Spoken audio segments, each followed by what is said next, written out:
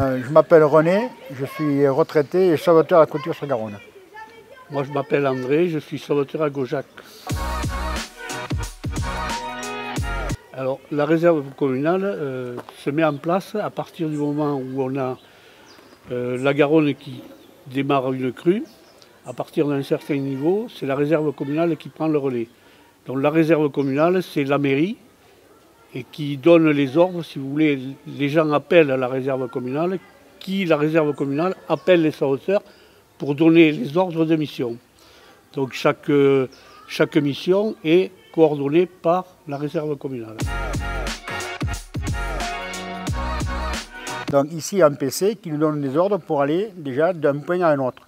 Donc on commence déjà à, voir les gens, les rassurer de notre, que Garonne arrive, et après, en fonction de, leurs besoins, on va essentiellement leur porter ou de l'eau, ou du pain, de ce qu'ils ont besoin, quitte à mener une dame qui va s'occuper des gens un petit peu isolés, soit une infirmière. Il y a des gens qui ont besoin de soins, tout ça. Donc euh, on transporte ces gens chez eux.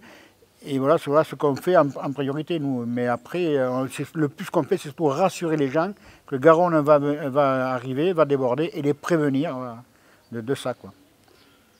C'est-à-dire on est et on reste au service de la population tout en étant aux ordres du maire et de la réserve communale. Rien ne se fait sans passer par la réserve communale. déjà, si, Garonne est dehors, déjà c'est de rester chez soi, de ne pas, de pas prendre trop de risques, de ne pas en faire prendre aux autres. Et puis d'écouter euh, les conseils des, gens. C'est les rassurer. Il faut qu'on rassure la population ou les gens qui sont isolés que Garonne est là, qu'il ne faut pas sortir. Et voilà, c'est comme pour beaucoup de dangers, il faut prévenir les gens. Quoi. Le principal conseil, c'est de quand même leur dire de, nous appeler avant de faire quoi que ce soit, quoi, parce qu'ils prennent pas de risques, c'est ce que veut dire René aussi, quoi. Il y en a tellement. La seule fois où j'ai été quand même un petit peu, euh, pas bouleversé si vous voulez, mais euh, le préfet nous a donné ordre en 2021 à 10 heures d'évacuer les gens qui étaient en zone dangereuse. Et donc à 10 heures, le temps qu'à la mairie, la réserve communale se mette en place, on a décidé de ne pas alerter les gens tout de suite. On l'a fait à 3 heures du matin, on a envoyé un mail à chacun. Et j'ai dû évacuer, moi, une jeune gamine qui avait 8 jours.